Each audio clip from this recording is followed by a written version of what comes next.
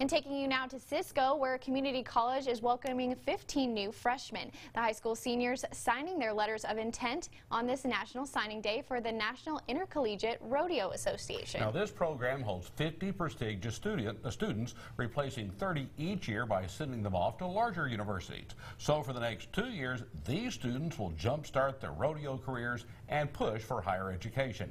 KRB's, uh, KRBC's Febin Cassahoon explains in tonight's Education Watch. This is their chance to shine with their parents.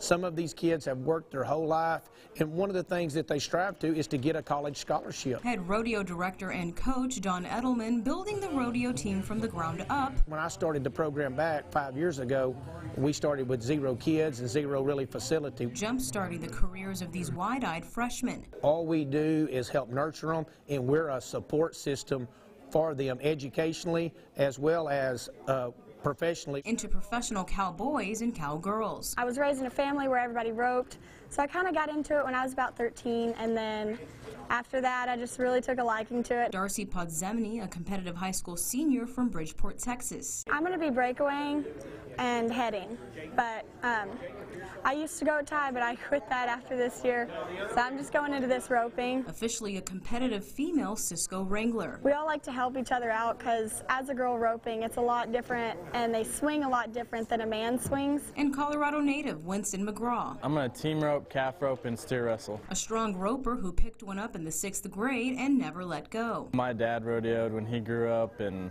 uh, we've we've always been around horses my whole life, so it was just a matter of time. Just two of the strong 15 permanently inking their future. In Cisco, Febin Cassahoon, KRBC, Abilene's local news. All right, thank you, Febin. The rest of that freshman class could not make it due to logistics or being out of the state.